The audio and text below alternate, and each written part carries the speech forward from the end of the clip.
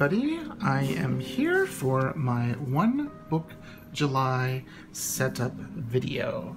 Now, if you've watched any of my videos in the past for One Book July, you'll think, hey, this looks kind of familiar to something you were using one year for One Book July.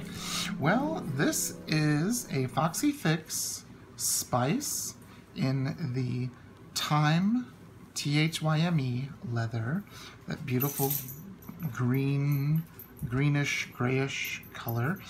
And uh, it is a number zero or a micro. Last year was the go big or go home sort of a, you know, go big, you know, sort of a, a year. And this year I'm doing things a little bit smaller.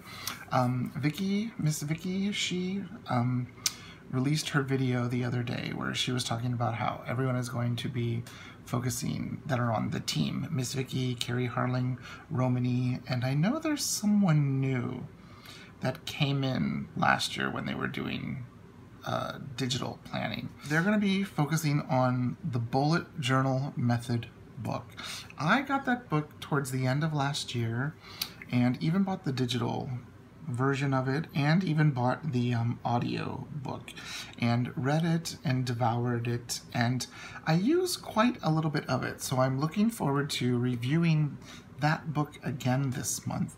But I'm going to be doing all of my bullet journaling in this little notebook here. So there's some things that I'm doing that are exactly like the old the very first year they did it. One notebook, one pen. So this is going to be my notebook. And this is going to be like the main pen that I use for my planning portion of it. I'm taking some art classes with Mindy Lacefield online. And I need variety of pens and pencils and paints for that. So Unfortunately, I'm not going to be doing getting rid of that stuff, but this will be the one pen I use for planning. It is a Kaweco Sport, and it is a ballpoint pen, and I have blue in it right now, and I have black refills for it. So that is my pen. Um, if I do use a highlighter, it'll be one of my Mildliners, and most likely it'll be the green one that I use for everything just because of um, what I that's what I do. So let's take a look inside and see what all I have going on. So the first thing you'll see is I do have some stickers in here that I'm going to be using and even a Mindy Lacefield card and an Odd Girl journal card. Just some stickers that I sometimes use in my planner. Um, I've got some like receipts and cash in the back. And that's one reason why I chose this to use is because since I'm using it as an everyday carry, a wallet, and my planner. So the first thing I have is a Foxy Fix dashboard and this right here, a Peke Dori Design monthly calendar that I've been using all year. I've been using it to keep track of our bills, when they're due and when they get paid, um, repertoire that I've been playing throughout the year, and of course, everything else on such a tiny little calendar. We're almost done with June. There's another one of Mindy's cute little cards. And here's July.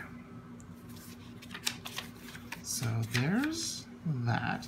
So this is just a um, monthly calendar with two pages of dot grid before each month and then a lot of dot grid in the back of the book. So there's that in the back of the dashboard. I haven't decided if I'm going to keep the dashboard in or not. Now, I have a dot grid insert here. This is a Tomoe River insert made by Paper Penguin Co. And it is 160 pages. So I'm going to draw up some sort of a weekly spread and then use it for bullet journaling for days. And that's why I wanted to go with a dot grid because that's typically what is used and it's what I like actually.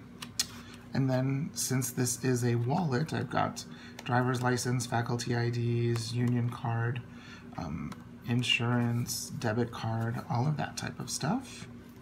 And then I'm gonna give it a try. I have another Paper Penguin Co.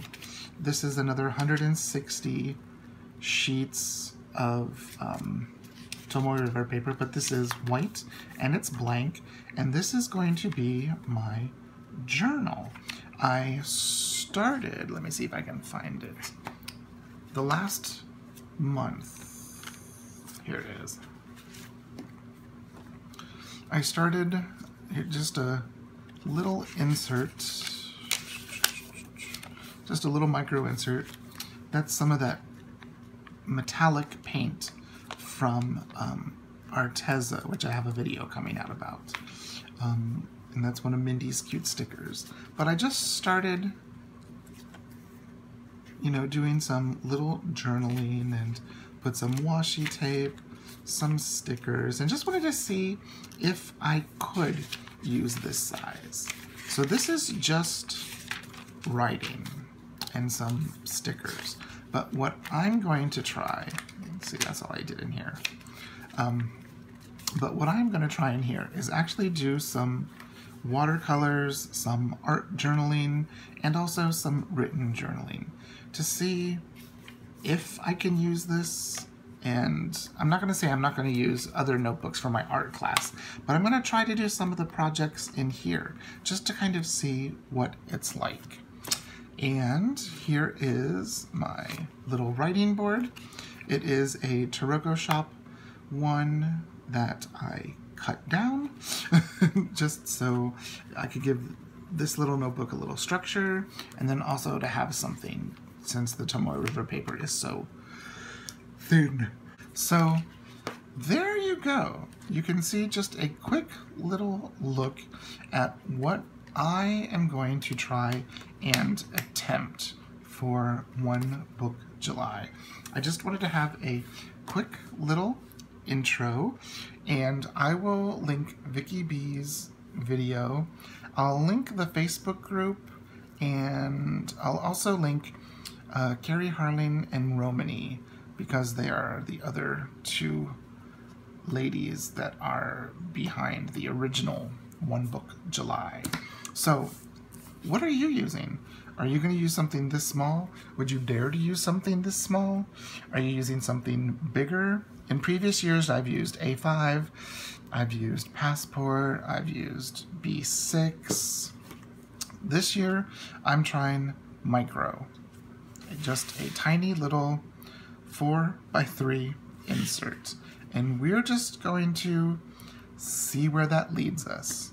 Okay, thanks so much for watching, and I will see you in my week one update of how this is going. Okay, bye-bye.